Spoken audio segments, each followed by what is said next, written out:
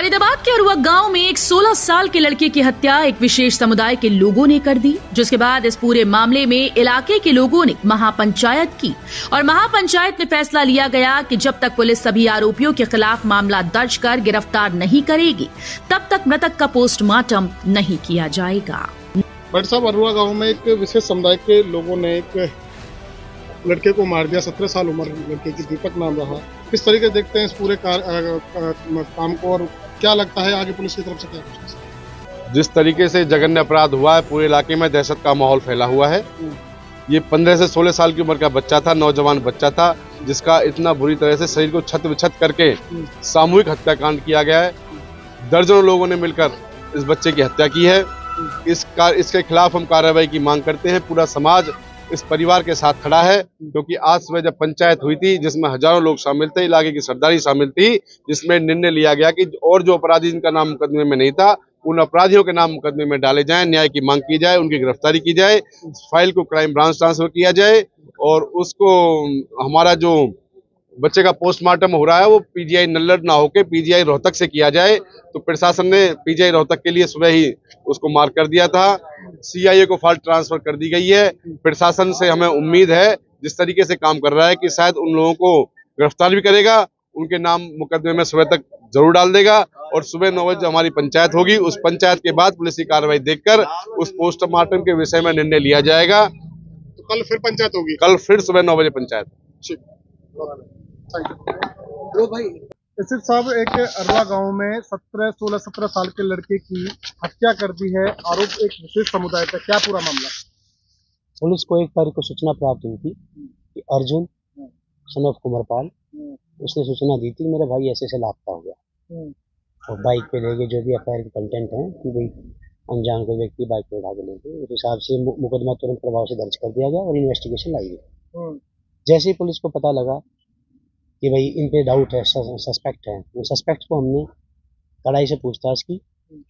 सभी का जो जो सस्पेक्ट शुरू प्राथमिक में थे सभी काबू कर लिया गया पूछताछ की गई। और हमने उस जगह का पता लगाया जहाँ पर ये जो अब तक के जो तथ्य सामने आए तफ्तीश में वो यही है कि भाई इनका अच्छा आपस में मेल जोल का पारिवारिक खेती वगैरह इकट्ठी करते थे और दोनों स्टूडेंट भी रहे आपस में क्लास में। हम्म। तो किसी बात को लेकर कहा सुनी होगी थी कोई पारिवारिक बात हो उसी बात को लेके इन्होंने इस घटना को अंजाम दिया हम्म। जो मुकदमा दर्ज कर लिया गया उसी दौरान मुकदमे की तफ्तीश में जो भी धाराएँ थी वो ऐड कर दी गई हम्म। और अभी तफ्तीश अमल लाई जा रही है हम्म। जैसे भी तथ्य थे किस चीज़ को लेकर के झगड़ा था या कुछ पता पारिवारिक पारिवारिक आपस में एक दूसरे का था जैसे परिवार में बाप बेटा का हो जाता है परिवार में एक दूसरे का हो जाता है तो ऐसी ऐसी क्या बात हो गई थी कि इतनी बेरहमी से उसके साथ मारपीट थी क्योंकि परिवार के लोगों का आरोप है कि गर्दन तोड़ी है आँखों को बाहर देखो अब जो भी जो भी जो भी जो है ना पोस्टमार्टम के बाद ही असल कारण पता लगे। फ़िलहाल प्रथम दृष्टिया तो गला घोट के सामने आया। और फ़िलहाल पोस्टमार्टम जैसा होगा परिवार के लोगों का आरोप है कि सत्रह लोग और भी शामिल हैं उनको भी पुलिस गिरफ़्तार जो भी अनुसंधान में हमारे सामने आता रहेगा अनुसंधान तफ्तीश अभी जारी है। हम्म।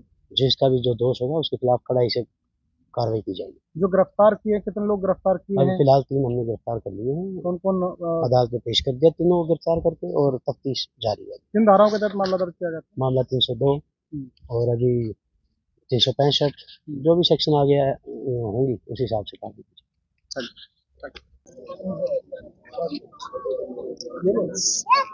क्या सुना नाम है आपका? महिपाल है सर। महिपाल जो मृतक है वो क्या लगते हैं और क्या नाम है और क्या उम्र है उनकी? मृतक का मैं चाचा लगता हूँ। नाम उसका दीपक है सोलह वर्षीय नाबालिग है। क्या हुआ दीपक के साथ? कैसे उसकी हत्या हुई?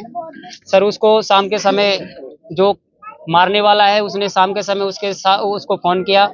उसे बुलाया गया वहाँ से वहाँ से किडनैप किया गया। किडनैप करने के बाद सुबह होते ही उन उनसे पता किया गया तो उन्होंने ये ड्रामा रचा कि भाई फ़ोन आया है उसका फ़ोन एक दो दिन में आपका लड़का आ जाएगा। एक दो दिन में लड़का आ जाएगा। तो हमने इसे उससे ये पूछा कि एक दो दिन में आ जाएगा तो आपके पास फ़ोन आया है तो आप फ़ोन नंबर दे दो हमें। वो फ़ोन नंबर भी नहीं दिया उन्होंने बोल दिया कि घटना है? ये घटना ये उनतीस तारीख को तो मिसिंग हुआ था। एक तारीख की घटना है सर ये। अच्छा हाँ। आपने फिर क्या कार्रवाई किया हमने सर वो वहाँ एक तारीख को हमने कंप्लेंट कराई। थाना छाया में कंप्लेंट कराई। फिर इधर उधर हमने बच्चे को ढूंढा भी। फिर दो दिन बाद हमें जन यमुना किनारे बच्चे के दीपक के कपड़े मिले मुफलर मिला लोअर मिला और उसके बाद फिर दोबारा शिकायत दर्ज की कि सर हमें वहाँ पे यमुना नदी के किनारे ये मिला हुआ है। फिर फिर सरकार ने भी पुलिस वालों ने भी कार्रवाई की। हम्म,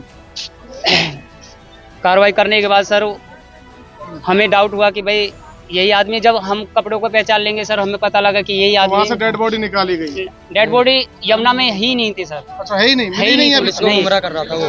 तो तब हमें डाउट हुआ तब उनको पकड़वाया गया। फिर पकड़वाने के बाद पुलिस यहाँ पे लेकर आई। लाने के बाद उन्हें पूछा ताज़ा गया तो ये डेड बॉडी यहाँ पे है। फिर पुलिस वालों से भी नहीं आएँगे फिर सीएआई वाले आए उन्होंने रिमांड पे लिया आधे घंटे के लिए। फिर उन्होंने बताया कि हमने डेड बॉडी को यहाँ से उसे मतलब मारा पुलिस की कार्रवाई में उसने उन्होंने कबूल कर लिया कि भाई उन्होंने मारा है। है सीआई वाले में। ठीक है? हाँ सर। अच्छा फिर फिर क्या कुछ कार्रवाई हुई उसमें? अब तक अब वहाँ तक क्या से कार्रवाई हुई? वहाँ से सर उन्होंने वहाँ से ले जाया गया डेड बॉडी के पास पहुँचे। उन्होंने आठ फुट का गड्ढा खोदा हुआ था जिसमें डेड डेड बॉडी पड़ी हुई थी। डेड बॉडी इतनी खराब थी कि सर उसका ये गर्दन टूटी हुई है और ये आँखें निकली हुई है तेजाब डाला हुआ है और दांत तोड़ रखे हैं। हाथ और इस पे बदन पे सारी लीलियो यानी कि जिससे किसी अच्छी तरह से मारा हुआ तरीके से मार उसी तरीके से। मार दिया उसको ठीक है। अब उसके बाद पुलिस ने क्या कार्रवाई इसमें की है? सर उन्होंने यही आश्वासन दे रखा है कि इन आरोपियों को पकड़ लेंगे। अपना अपनी बच्चे की डेड बॉडी लिया उनका अंतिम संस्कार संस्कार करो। तो नहीं किया अभी तक नहीं सर हमने ये कर कह रखा है कि जब तक हमारे जि, जितने भी आरोपी है सत्रह आरोपी है जब तक इनको अरेस्ट नहीं होंगे तब तक हम अपने बच्चे की डेड बॉडी ना ही लाएँगे और ना ही पासमोर्टम कराएँगे। मारने वाले कौन लोग थे मारने वाले सत्रह लोग हैं जिनमें एजाज खान सुहान खान शहजाद खान मुबीन खान इसराइल जलसू राहुल खान शकील खान यामीन खान। एक विशेष समुदाय के लोगों ने ये ये मोमदन सारे ही परिवार किस बात को लेकर मारा? कोई पता चला अभी सर अभी तो कोई रंजिशबाजी का पता तो उनसे ही लगेगा सर किस रंजिश से मारा है। ठीक